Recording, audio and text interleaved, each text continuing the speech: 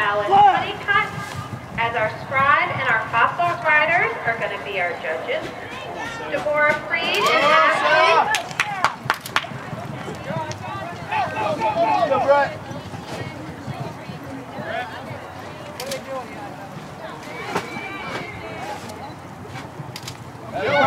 Go, go, go, Brett.